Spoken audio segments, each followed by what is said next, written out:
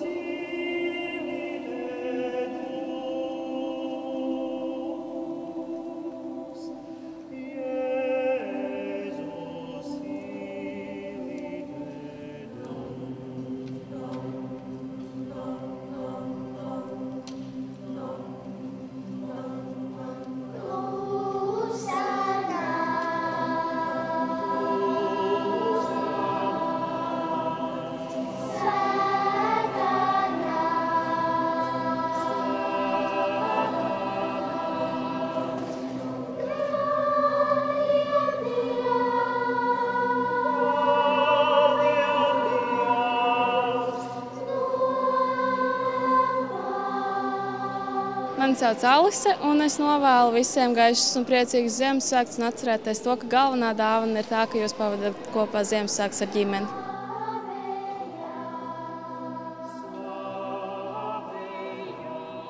Es novēlu Ziemassvētkos cilvēkiem pavadīt laiku kopā ar ģimeni vai draugiem, un arī novēlu, lai Latvijā būtu sniegs.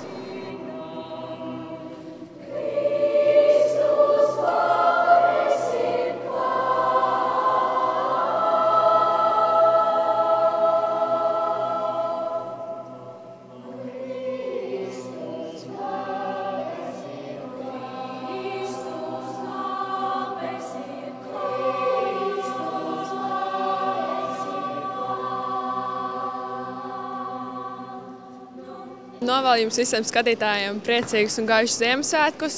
Novēlu visiem bērniem daudz dāvanas, daudz prieku, daudz laimi un lai visi iecerētie sapņi piepildās.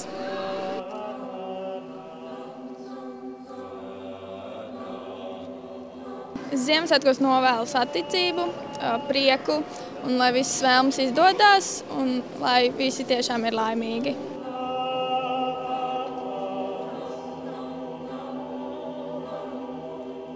Novēlu Ziemassvētkos visiem priecīgus un gaišus Ziemassvētkus un uh, lai piepildās lielākās tautas daļas sapnis, ka mums ir labi politiķi šoreiz.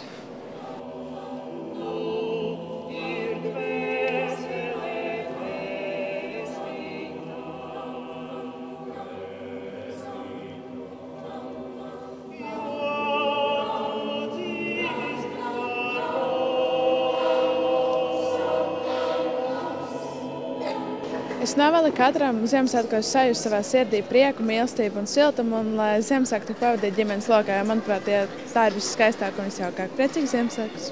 Novēlu šajā īpašajā svētku laikā gaišus, sirds siltumu pilnus svētkus, un lai katrs sajūt svētku īpašo nozīmi.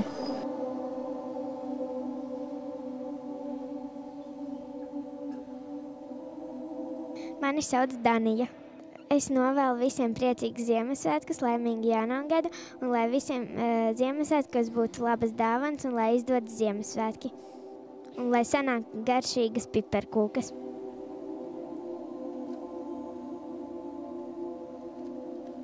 Man sauc Raivs, un es visiem novēlu priecīgus Ziemassvētkus, paveikt visu iecerēto, un lai visiem mīļajiem, kurus tu esi novēlis aps, apsveikt, apciemo viņus, jo viņiem jūtas vientuļi.